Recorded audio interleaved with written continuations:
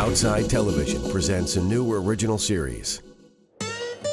Jackson Hole, Wyoming, a place famously referred to as the last of the Old West. But what about that part of Jackson that not everyone gets to see? For that, you need a local. I'll be hanging with one of the fathers of freestyle snowboarding, Bryan Iguchi. I think I have some fun stuff planned for you. Gooch is showing me what's off the beaten path. Today we're gonna go to the Valley of the Kickers. The Valley of the Kickers. Drop it!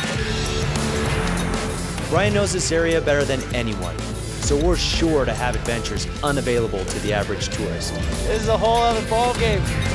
So nice to be back in the Tetons. Three, two, one.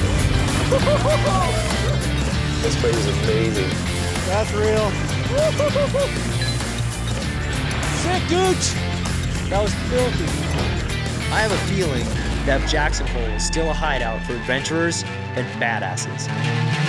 You pretty much are the godfather of big mountain skiing. Godfather, yeah, that's something else. With a hardcore local like Bryan Iguchi as my guide, I'm going to experience the Jackson Hole most visitors will never see. Locals, Thursday nights at 9:30 on Outside Television.